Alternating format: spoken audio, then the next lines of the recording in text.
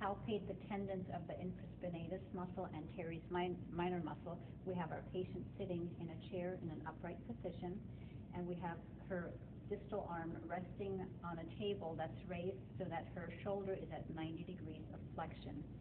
Also, to make the tendons more prominent, we're going to have our patient come into slight adduction horizontally, about 10 degrees, and then into slight external rotation, about 20 degrees.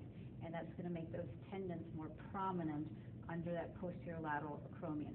Now, to specifically locate each tendon, we want to feel for the posterior lateral acromion, which I've located right here. One finger breath down from the posterior lateral acromion is going to be the tendon of the infraspinatus muscle.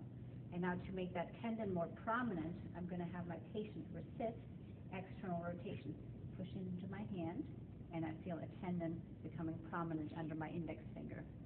Now for the, uh, for the teres minor muscle tendon, we're going to go two finger width below the posterior lateral acromion.